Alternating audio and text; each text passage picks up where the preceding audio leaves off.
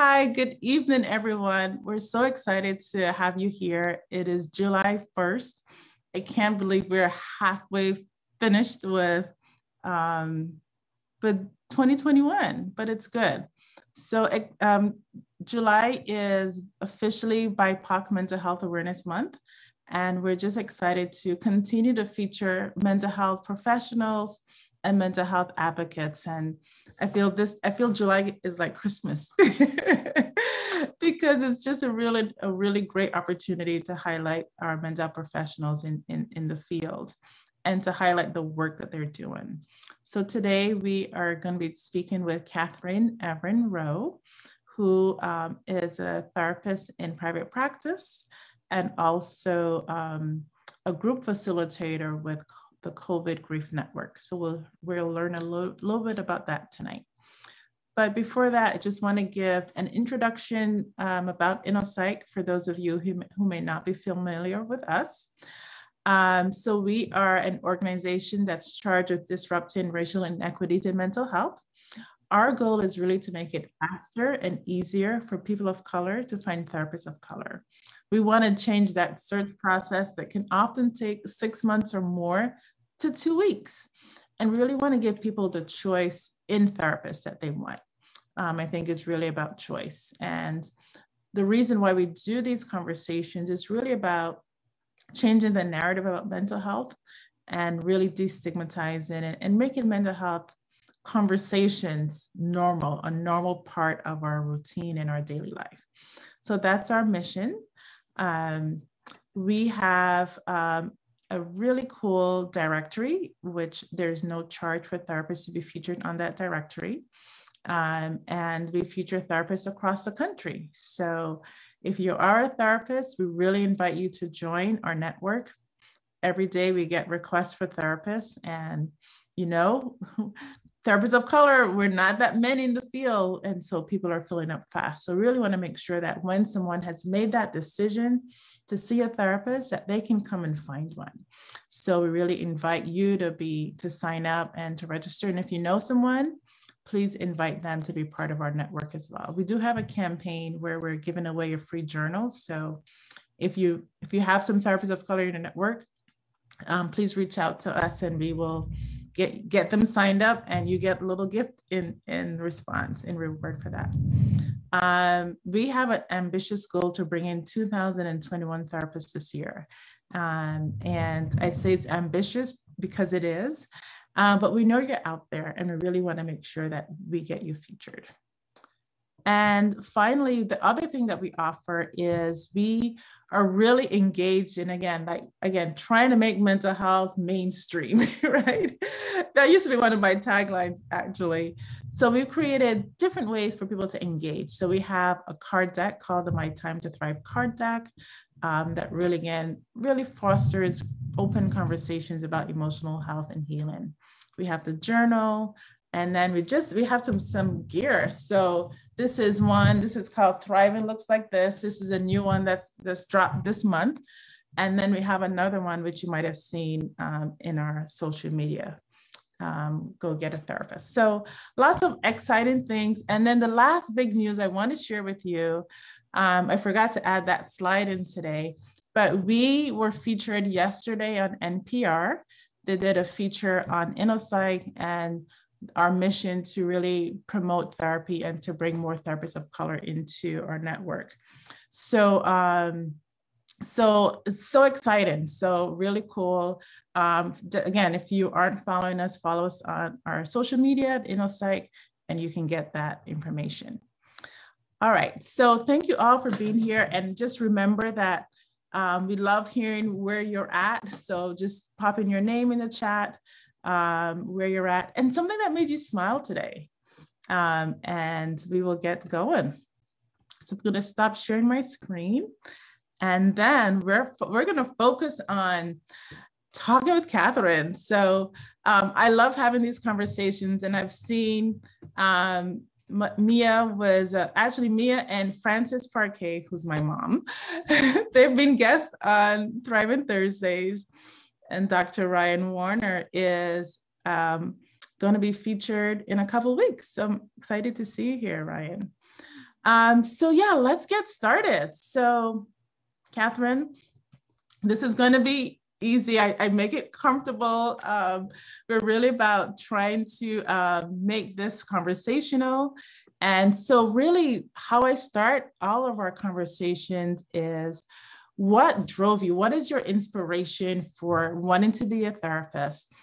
Um, you know, for many of us, um, people of color, we're often given negative messages about therapy, right? We, we heard it doesn't exist. So I'd love to hear a little bit about your own journey coming into this field and how you, yeah, how like that maybe was a childhood dream, maybe not, right? But what was that inspiration? What was that light bulb for you that this is the thing I want to do?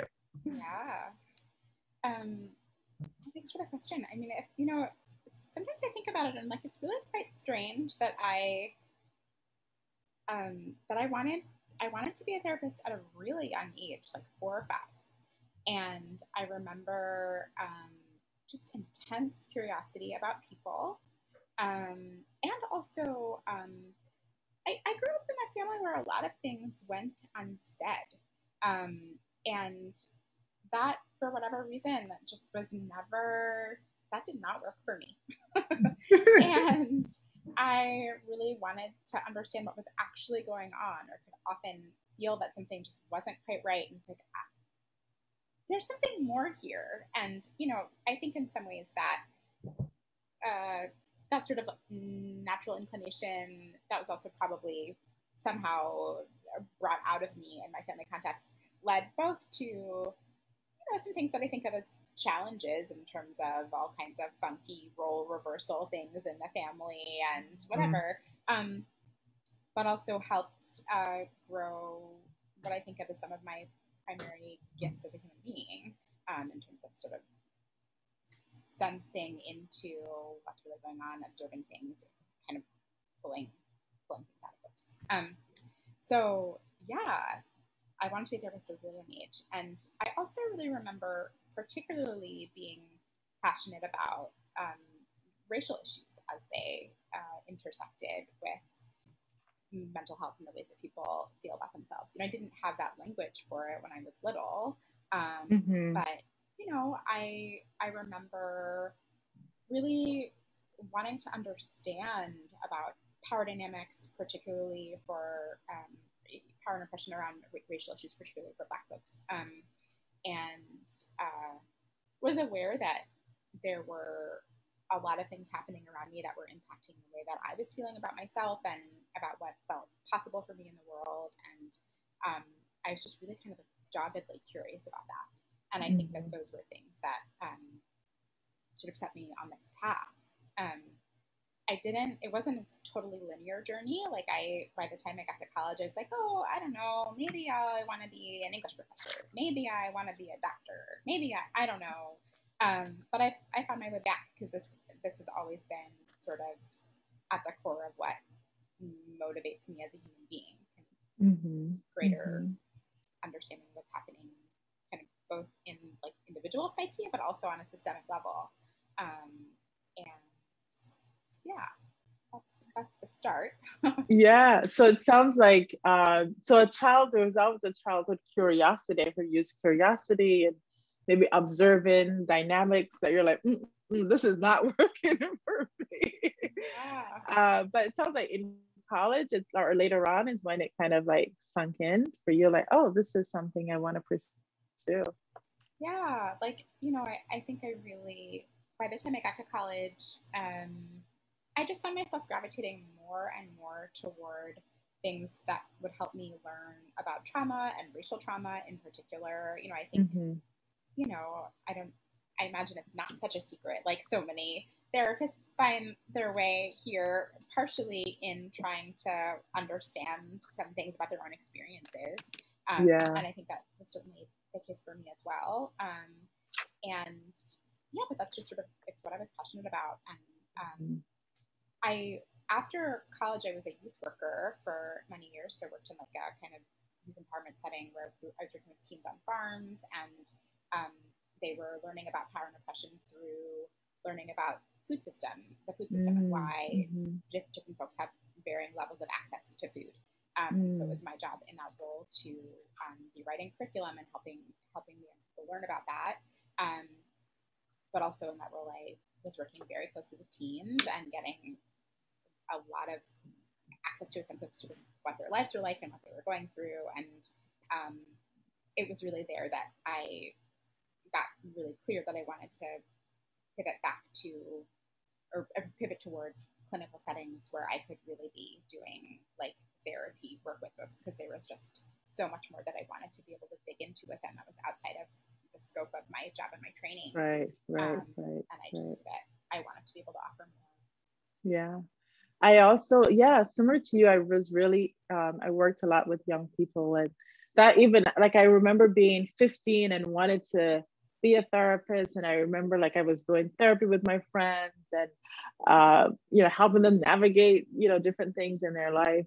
Um, but that was definitely the the you know I think that and working with young people has been such a joy. There's such a um, there's this the spirit for life, right? But also they'll they'll you know they keep you on guard. They check you right? oh yeah. But they also keep you current. I'm like you know when i'm with my youth i feel like i'm in the know right? Mm-hmm. it's such a different language. Uh, yeah. yeah. I've definitely gotten like progressively less cool in the years that i've right. outside of working with teams well. Yeah yeah so tell us a little bit about what you do now right what is what is your day to day what are some things that you're getting into in your work now that you're you know professional right you've moved through like you decided this is what i'm going to do yeah. yeah. what are the things that you do now mm-hmm. um, so i work both in a college counseling center at historically women's college outside philly bryn mawr and i oh, also yeah I, I have a couple of students who've been there oh, okay, went to yeah. school there yeah cool mm-hmm. Yep. And then I also um, work in a group practice that primarily serves LGBTQ folks in Philly with mostly young adults, and my caseload is uh, primarily young adults of color. Um, okay. And yeah, so that's sort of how I earn my living. And then outside of that, I also do a fair amount of work with the COVID Grief Network, which we can talk some about. Um, but it's a sort of mutual aid organization that emerged in response to COVID um, that aims to provide both one-on-one and group support to young adults who have lost somebody important um, in the Okay. So I'm going to ask you the question that people ask me all the time. Okay. How do you manage all the, you have, you have told me about three jobs and there may be more you haven't even mentioned. yeah, right. How do you manage? And part of the reason, you know, I'm being in jest, but we are, we do have like people who um, tune in or who watch the show who are interested in being um, therapists themselves. So I really love to deconstruct like how it, how it is that we put different pieces together, why we choose to maybe work two different jobs versus one, right? So I'd love to hear a little bit about um, your motivation. So you said college counseling, um, you also work in a group practice, and then you also do work with the COVID network. So yeah, break down like how does how does that work out in your week? Like how many hours are you dedicated? Are you full-time and those part-time? And how does that kind of being able to do all those different things how does that feed maybe passions that you have or in your career interests too?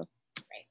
Yeah i do think that having this mix of work um, is partially about kind of different sort of needs of mine in terms of different parts of myself that I want to be able to use you know mm-hmm. um, and there's so much about one-on-one clinical work that's really satisfying i also find sometimes that when my whole week back to back to back is folks that i'm having one-on-one 50 minute sessions with who i've seen for years um, it can be a lot um, mm-hmm. and but also if i don't have any of that in my week i feel really unsatisfied because you know mm. that's something that i really love to mm-hmm. think, okay, how do I have some of that, but also have some opportunities to use different parts of my brain? I love thinking about programming and facilitating. I love thinking about systems issues. And so, like working for an institution, there's an opportunity to be thinking about things that are kind of impacting the college community and ways to mm-hmm. sort of mm-hmm. interface with, yeah, different organizations on campus or different people in power on campus to help change things. Um, it can be fun to get to do some short term work with people in that environment and really be kind of a person's first bridge into therapy and sort of help them have a positive short term experience and link them up with someone that they will see longer term. Um, and right. with COVID Grief Network, I mean, that's been really cool because we we created a thing. We built this organization from the ground up over the past year, and um, yeah, that's given those of us who've been involved chances to use all different kinds of skills and also to provide yeah. um, something for free for so many people to access in this time of dire need when you know we've seen that yeah just like the bigger kind of structures in our communities that might provide some sort of support aren't in part because there's mm-hmm. a lot of um, this is my opinion there's been a huge amount of i don't know uh, yeah gaslighting and denial around um, covid and the impact that it's having on people yeah um, well, yeah, why don't we take a step back? Tell us a little bit about what is the COVID network? Okay. And yeah, it sounds like something that came out of a need um, in response to COVID. So yeah, tell us a little bit about it, um, what your role is with that group, yeah. Um, what you do. Mm-hmm. So COVID Grief Network started with a few folks who are kind of at the core of the organization who had, before COVID, been running these in person grief retreats for young adults who had lost somebody important to them. Um, the sort of person who had the initial idea had a traumatically mm-hmm. lost her father a few years ago and is someone who you know, was in rabbinical school and has always been passionate about facilitating transformative experiences for people and um, was really excited about this like in-person grief retreat thing that she was able to create in part because in her own experience of grief she had learned a that there aren't actually a lot of spaces for young adults to get support around grief there are a lot of spaces for children and there are a lot of spaces for people who are you know 40 and up um, but so often, if you're in your 20s or 30s and you've lost somebody important and you're in a grief space, you're going to be either the oldest or youngest person in the room, and it's just mm. kind of not quite for you. Mm-hmm. Um, and and also, you know, this person, Chloe, who helped start the Grief Network, had found um, in many different experiences of just facilitating things for groups that so often the most transformative things happen when you can be in community Mm-hmm. Um, and so when COVID happened and we were all separated, um, you know, there was both an interest in figuring out how to kind of continue this work of supporting young adults who are grieving. There was knowing that, um, you know, there were going to be so many more young adults who were grieving given the demographics of who was dying of COVID in, in large numbers. Right. Many people lost right. parents and grandparents. Right. Um, but some people also lost, you know, best friends, spouses, siblings. Um, and that, you know, this super essential component, the community component that had been such a lifesaver for Chloe, was like now so much less accessible to people. Mm-hmm. Um, and so Chloe organized to get a bunch of people around her. She and I have worked together for many years. She actually worked at the same um, youth development empowerment mm-hmm. place as I did when we were when we were much younger and have been collaborating for years on things. Um, and yeah, I got a bunch of people together and said like, okay, what can we do to offer support to this and so together, a team, kind of a rotating cast of like 15 to 20 of us, um, helped create this very functional organization that has lots of different parts. I've since the beginning have been on our support and training team, so figuring out kind of how we're gonna how to train our volunteers who provide both one-on-one and group group support. Um, okay. But basically, COVID Grief Network, the primary offerings have been um, one-on-one, like free one-on-one group support, um, up to six sessions, and then also, if people are interested, um, access to groups. So we've had these groups that are typically around ten people, and they meet eight times. Um, and they meet eight times, you said. Mm-hmm, okay. Yeah. And some of them have sort of themes or are organized around particular identities. I was able to facilitate our first group, which was a really special experience, which happened over the holidays last year. Um, and yeah, we're, mm. we're continuing with both these offerings and, and we're really finding that our young adults are especially finding group support massively transformative. Um, and so we're yeah. putting a lot of energy there these days. Yeah, yeah. I was really excited when I learned about this organization and the, the group part in particular, right? Because we're coming off of a year where so many of us were in quarantine, isolation, and not feeling connected. Yeah. And you know, one of the things that I keep saying to, to anyone who's interested, anyone who will listen to me, right? uh, it's not anything profound, but I'm like, if you're looking to get into the field or if you're licensed and in the field, really think about how to pivot to do more group work, right? One, it does bring that connection that you talk about, but it also, particularly for folks of color, it kind of builds capacity. So as a therapist, seeing eight people in your day, that's pretty high, but versus being able to see maybe 50 or, or more because you are doing group work can be so powerful and can impact those folks who are on a waiting list, right? So I, but it also brings people together. So I'm really intrigued and I love that you guys were able to pivot and do this virtually, but also to respond to a really immediate need for those those people, the, the young folks that you you target. Yeah, yeah, and and to be able to provide support that's free, right? Like, you know, I think that's one of the reasons why. That's amazing.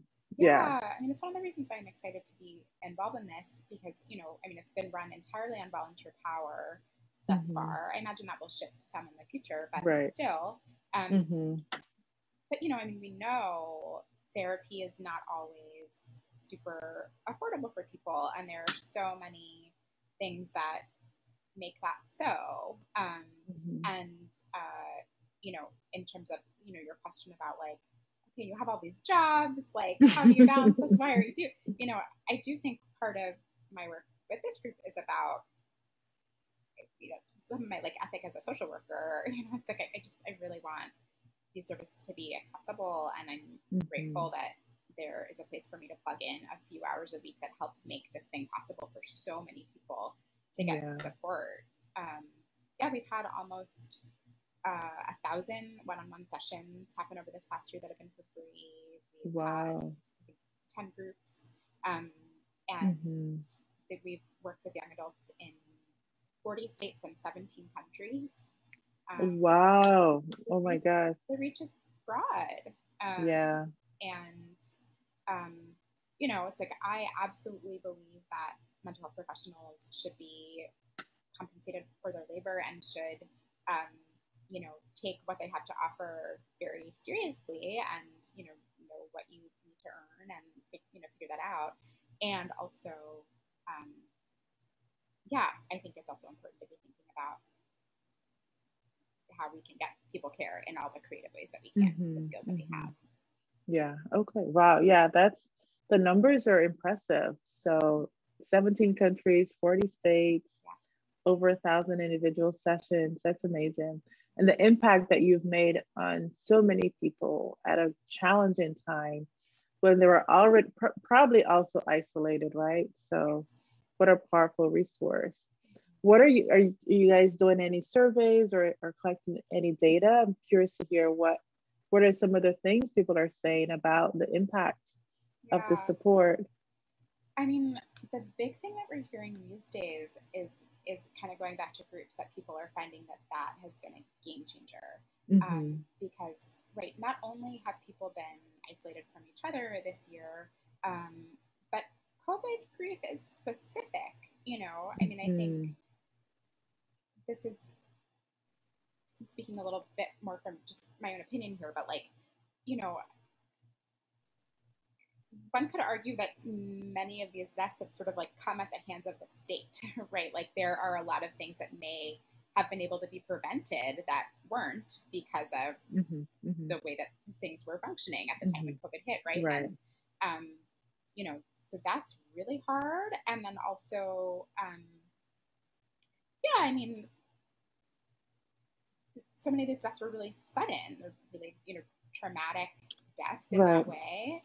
Um, and uh, yeah, just for so many people to yeah. be losing family members who were completely and totally healthy. Um, right. shocking. Um, right. And then, and then the other, go ahead. Well, just then to be living in an environment too where throughout the past year there's been, I mean, yeah, just a lot of denial of the seriousness of this. Right. right, um, right so many people right. desperately wanting to go, quote unquote, back to normal mm-hmm. right? Like, mm-hmm. and for so many folks who last admitted to COVID, that normal is gone, like forever yeah. gone. Right. Yeah. Um, yeah. I was going to add too the other piece that I heard, particularly early on, was the, you know, connected to that COVID grief. I like, you know, the way you use it, but it's like when people were sick, they couldn't be with their loved ones yes. because, you know, concerns about infection. And then they weren't able to have funeral services or memorials in ways that you couldn't gather with people, your people, and have that communal support. So I think that also has complicated that grief process for people. Absolutely. And and that is one of the big things that we're hearing from our young adults, both that that has been one of the most painful parts of this mm-hmm. and that being able to be in groups with each other has offered some mm-hmm. balm. Um, yeah. Yeah. Yeah. Great. Thank you for your work and for the organization. You, you know, we definitely love to highlight again organizations that are doing great work around supported mental health and to be doing that level of service that's absolutely free for folks. Um, that is amazing. So yeah, let's continue to be in touch around that.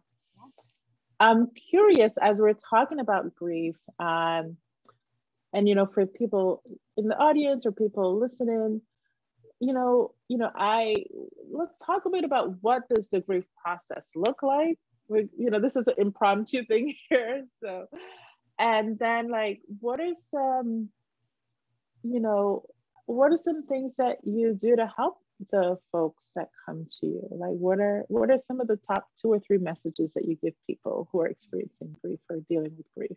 Yeah, um, it's a great question. I mean, I think one thing is that like the grief process looks different for everybody. Mm-hmm. Like, absolutely absolutely. um, yeah. And so one of the things that is often helpful for folks to hear is like, you're not supposed to know how to do this. You're mm-hmm. not supposed to know how to grieve. And there is no one right way. Yeah. Um, and that if you can make room for whatever it is that you're feeling yeah. um, and be in relationship with folks who have capacity to like witness it and hold it, mm-hmm. um, that one way or another you'll be able to sort of guide yourself through. Um, yeah. But I think there is, you know, I think within the Public Network, and yeah, we share this belief that like on some level, people have the tools that they need to mm-hmm. heal. Mm-hmm. Um, but we live in a world that so often discourages us from using those tools. Um, mm. Um, but if you can really, yeah, just give yourself permission to make room for what is coming up for you. Yeah. Um, yeah. Yeah. Yeah. I love what you said. Like it's all, it looks different for everyone. Um, I remember having conversations like that because particularly when I worked with the adolescents, you know, you know, I'd have like a parent, you know, maybe a child lost a parent and there's one other, but nobody was talking about the loss. Nobody was, because nobody wanted to trigger each other's like grief process, right? Yeah um, but that also that silence around it it's like sometimes people think well that person doesn't care or they've moved on right and so one of the things that i always say is like everyone's hurting and um, but everybody's dealing with it in their own way yeah what are some so you said you you believe people have the tools so what are some of those tools that we can tap into when if, if we've experienced a loss um, that you know maybe some go-to's that you found helpful for people I mean, I think people so often have um, a natural inclination toward really sort of like small scale ritual. Mm. Um, really noticing when they um, are reminded of somebody and like letting themselves savor that, mm-hmm. or um, you know, really tapping into creative expression in one way or another to, to process a feeling that it might have been hard to talk about verbally or write down. Mm-hmm. Um, I really think, though, like one of our primary tools is uh, our capacity to feel mm. um, and to really just let ourselves feel. and that's feel what you feel, right? Feel yeah. what you feel. Yes. And it can messy. And yeah. you know, I know at least I feel like I was socialized into a culture of um yeah, there being uh I don't know, just many things that it wasn't okay for me to express or oh, anger, that's that's a bad feeling. You shouldn't have mm-hmm. that one. Mm-hmm. Or you know, sadness, well, you can be sad for a certain amount of time, but after, then that's like really excessive. Mm-hmm. You know, like I mm-hmm. feel like I got all these messages, and um, no, these feelings are coming up for a reason, and the more that we resist them, actually, the longer they stay around. Yeah. Um, so, yeah. Um, yeah. And then I think the other thing is, you know, so often in grief, we when we know that it's okay to actually have big feelings in relationship with other people, we want to be in community. Um, mm-hmm. And so, mm-hmm. really making space to connect, whether it yeah. be with like a volunteer grief worker or a therapist or people in, in your life, um, knowing that you don't have to be alone. Um, and uh, yeah, really reaching for folks. Yeah, yeah. That's awesome. Awesome, awesome advice. Thank you for sharing that so I want to shift gears a little bit. You know, one of the things that I find really important when we do the when we have these conversations um, with the therapists and with mental health advocates is really about again part of it is humanizing us, right? Many of us, you know, many people have never seen a therapist, never been to a therapist. We make make up these images of what a therapist look like, or that they have all their life together, right? right? I know so part of it is like, okay, let's talk about this stuff. We're, we're people too. We've, we've gone, we go through stuff just like you, and we use strategies, you know, that we we share with you. So I'd love you to share, you know, personal struggle you've experienced and talk to us about like, you know, what it was and how you were able to navigate through that experience. Yeah, I mean, one thing that comes to mind is, you know, I've, and this is something that I've seen with a number of clients too is I, I feel like I was really like intensely indoctrinated into a family story and a family role. Mm. Um, and, you know, grew up almost with, I don't know, like a script for other people and myself about mm-hmm. how my family was, what my relationship was to my parents and sibling, like, um, and that everything was perfect and fine and wonderful all the time. Um, and that that was not just about kind of, I don't know who my family members are, but also about kind of culturally informed. You know, my, my parents were immigrants, and I think that there was also, um, yeah, some, you know, real, some of their stories and the ways that they oriented their lives about this next generation. Things have to be a particular kind of way. Mm-hmm. Um, and, you know, I think um, when I think back, it's kind of wild to me how long it took for me to start to question things or mm. to really get in into more authentic relationship with my actual experience of my own life. Mm. Um, and um, yeah, I mean, you know, I do, I do think for me, therapy was a huge part of that journey, which you know yeah. was part of what further solidified my interest in being able to do this. Um, but um, yeah, I mean, I just think uh, that sort of rigorous honesty with oneself can really be hard to come to and can take time and unfolds over time, right? Like, I'm sure that there will be more that I um, more more truths about myself and my own experience mm-hmm. of my life mm-hmm. that I come into relationship to over the next many years, you know? Yeah, yeah, um, yeah. But I think even starting that journey in and of itself um, was really painful. It felt like mm-hmm. I was doing something wrong or like betraying my family mm. or, you know, by going to therapy. Yeah, right. Like, mm-hmm. you know, it was always such a strong message like, you don't talk about our issues outside this house Right. Um, and uh, yeah, at some point it was just like, I think I have to, otherwise mm-hmm. I'm not mm-hmm. gonna survive this. Mm-hmm. Um, mm-hmm. yeah. yeah. Yeah. What was your, um, if you don't mind me asking, um, for for many therapists, their first time being in therapy was because they were in a program that either required or strongly encouraged it. Was that your journey into it, or had you experienced it before? No, yeah, I actually um, advocated to see a therapist for the first time in high school. Wow. Yeah, there were a lot of things kind of happening in in my family that were really challenging, and other things that were happening in my personal life that were challenging, and um, it just felt really clear to me that like I couldn't get the support I needed in the house. Mm-hmm. Um, and yeah, that was not an easy fight. yeah, yeah. yeah um, and but it sounds like you're you won. I wanted it. I really wanted it. There was like a student assistance counselor at my high school that also helped advocate for it. And mm-hmm. You know, like it wasn't it wasn't easy. It didn't actually get easy. Like you yeah. know, every week that I was driven to therapy, it was like not fun. Mm-hmm. In that mm-hmm. part. yeah, um, yeah. But it's something I wanted.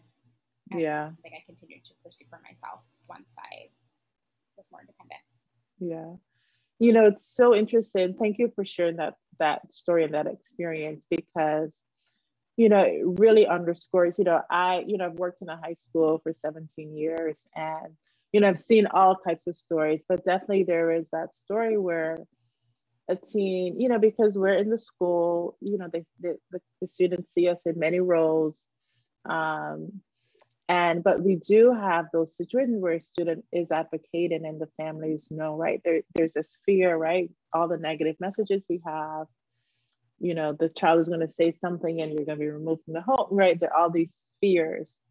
Um but right and sometimes you know it, it is hard for the sometimes they don't get that access to that support because we do need parents to sign on and, and um, give consent for that. So it can be really challenging when we see that need and a student advocating for themselves, but not having access to those resources. Yeah. Yeah.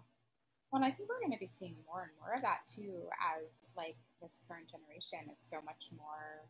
Oh my god. Friendly. Right. Right. Yeah. Yeah.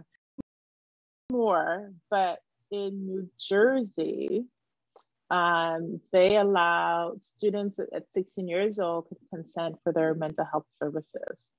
So I really was like, oh man, I want to do that for Massachusetts, right? Because you know they can consent for lots of others around their sexual health when they're 16. So why why not their mental health? Yeah. So I think, like you said, we're going to see more, more, maybe more legislation around that too. Mm-hmm. Yeah, great.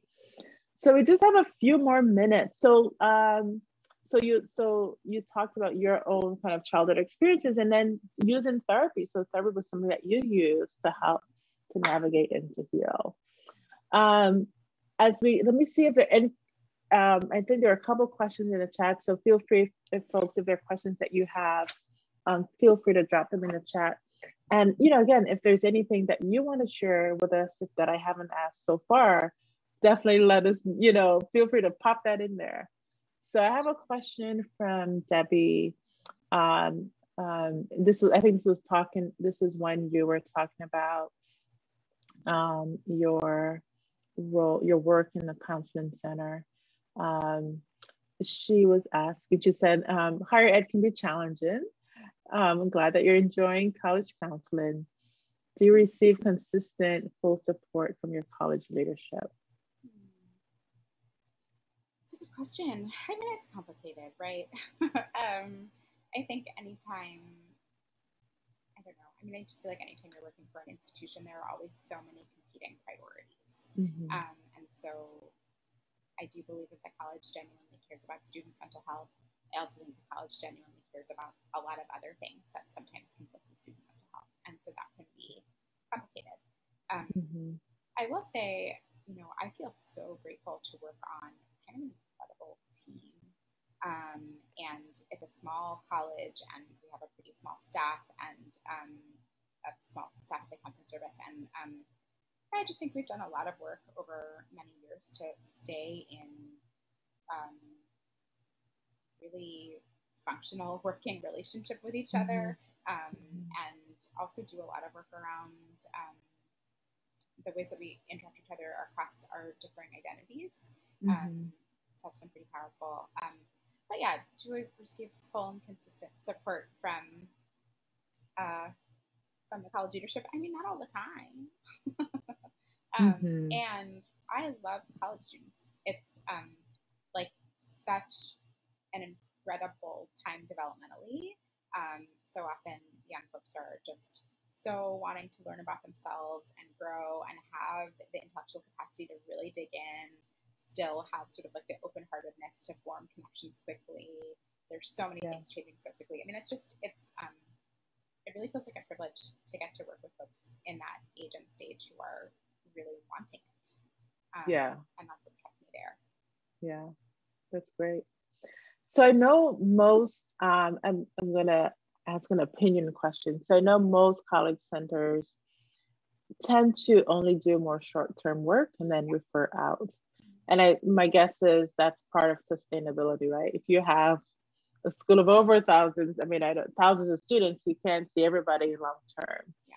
What are your thoughts about kind of that model and is it always easy to refer out? Like, yeah, how does that kind of work? And and once someone like meets with you, I'm sure they don't want to like leave, right? yeah, it is hard. And so often, um, the folks who come to the counseling service most enthusiastic about doing the work um, and who are really wanting therapy are the people who you can argue are perhaps even best to refer out because you know that they, you know, will do it once you're linked up with somebody. yeah, And then yeah. it's really sad to say goodbye to them because it's like, oh, this would have been so fun and interesting, and I like you, you know. um, but I will say at, at Bryn Mawr, which you know it's about like eight miles outside of Philly, um, in an area that is the school itself is a you know primarily white, predominantly white Mhm. institution, and it's in a community that's a pretty wealthy white area. Um, there aren't a ton of therapists of color nearby, and so one of the other special things for me about working there is that you know I have been able to work with many students of color, and um, that there's an argument that can be made for us being able to do longer term work because Mm. there isn't necessarily a Right. provider in the area. Yeah. Okay. Um, but but yeah, I mean the, the model is challenging, um, and I, I think in some ways there are, there are things that are sad about it for the clients and the clinicians. You know, so Mhm. many of us get into this work because we enjoy doing long term work with people, and it's Right. hard not to be able to do that with everybody. Um, and of course, you know, many of the students would really appreciate the convenience of being able to see a therapist on campus every week and having that be it. Um, Mhm. but you know, I do think that there are also advantages to being able to sort of see students as they need to be seen and make sure people are getting linked up to longer term care if that's what they're needing. Um, Yeah. Because yeah, certainly there's a capacity issue there. Yeah. Yeah. Great. Great. Um, so this was wonderful, Katherine. Um, I really enjoyed learning, getting into you a little bit more, but also hearing about the COVID Grief Network um, support. So we definitely have to figure out how we can get you listed on our website because I definitely think that's a beautiful resource. Are you guys still taking referrals? Like, how does the you yeah, are no, we're great? still um, yeah, we're still linking folks up for one-on-one support. We're still getting folks who want to be in groups into groups. Um, Yeah. So yeah, definitely. That's excellent. That's amazing. So, any last questions before we wrap it up? I think not. Um, so, yes, so definitely, um, Shauna has posted in the chat um, the the COVID Grief Network um, Instagram page, Great. and um, I think she might have posted the website earlier, but we'll make sure we get that to folks. Um, and yeah, so we just again thank you so much for being here um, to kick off our, our BIPOC Mental Health Awareness Month. Thank you for the work that you're doing um, for our college students and in your private practice, busy lady.